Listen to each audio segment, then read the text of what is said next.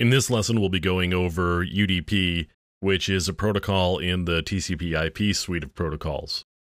IP is the network layer, and that's the network layer in the OSI 7 layer reference model.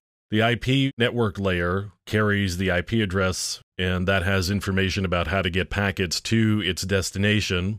The transport layer sits on top of the network layer, and that carries information about how to differentiate networked applications. That information about how those networked applications gets differentiated is in the form of ports.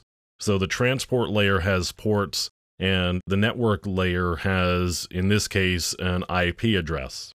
UDP is a transport layer protocol, and UDP stands for User Datagram Protocol. It's often called connectionless or sometimes unreliable. Now, unreliable doesn't mean that you can't trust it at all. It doesn't mean that it's not worth anything. It just means that there's nothing in the protocol that says that it's going to guarantee that the datagrams that you sent are going to get there. So, datagrams are sent out on the network with nothing in the protocol at all as a form of safety net. If you wanted to use UDP and you needed that type of safety net, you would have to write it into your application. So UDP is a fast protocol. That's one of the reasons why it's good. It's also one of the reasons why it's unreliable. In order to get that speed, you don't have all of the error checking and validation that messages are getting there.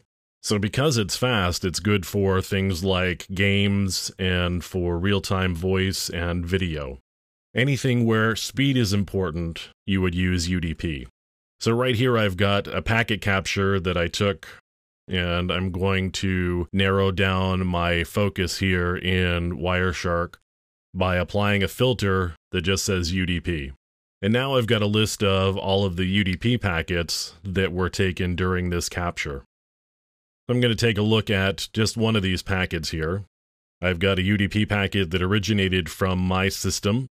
We're going to ignore the lower level headers here, the part that says frame and Ethernet 2 and Internet Protocol version 4, and we're going to focus on the user datagram protocol portion of the packet. As I expand that UDP part of the packet, I don't see an awful lot of information here. What I see is just a source port and a destination port and a length. And there's also a checksum. So UDP doesn't come with an awful lot of headers because it doesn't need any. The only thing it needs is to tell you how to get to the application on the receiving host, and that's with the destination port. Now, once the message gets to the destination, the destination needs to know how to communicate back to the originator and that would be through the use of the source port. A return message would convert the source port to a destination port and send back to that port in order to communicate with the originator. So we have a source port and a destination port. The length is a minimal amount of checking to make sure that if the packet that you received is different from the length that's specified in the UDP header, then there may have been something wrong and you may want to discard the message. The checksum also makes sure that nothing in the middle was tampered with, although if there's some sort of man in the middle attack or something like that, a checksum is pretty easy to manufacture after you've altered the packet. So you can see here in the messages that there's a number of UDP packets. Some of them just say UDP. The one I'm looking at here happens to be from the Skype application talking to Skype servers. And we've also got DNS. Now, DNS also needs some fast response times because you don't want to spend a lot of time looking up information about the servers that you're going to before you just go to them.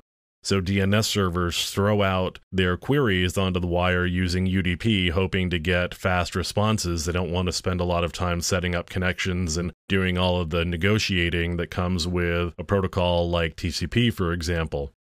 So you see here that DNS is using UDP. And what we've got here is another UDP packet, source port. Destination port is the DNS port or domain port, which is 53. And at the bottom of Wireshark here, you see the domain name system query. If we open up the queries section down below, we're looking for a type A record, which means I need the IP address or just the address of the hostname con.skype.com.